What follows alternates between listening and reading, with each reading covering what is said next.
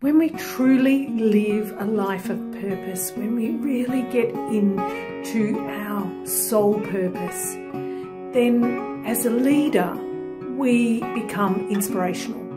We can transform the lives of others through the way that we share our story and the way that we uplift others and inspire them. But to really get to that, we have to acknowledge our shadow self to really acknowledge that we do have an ego and that ego has been driving your story for so long that it probably has got in the way. And so to do that, there, are there is a lot of work for you to do.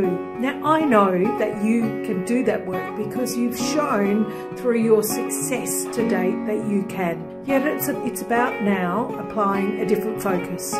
It's about really applying that focus, is about removing the ego.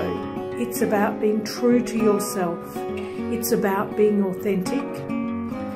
It is sharing and motivating with others so that they can come on the journey with you and the success is amplified mathematically so far beyond what each individual can achieve.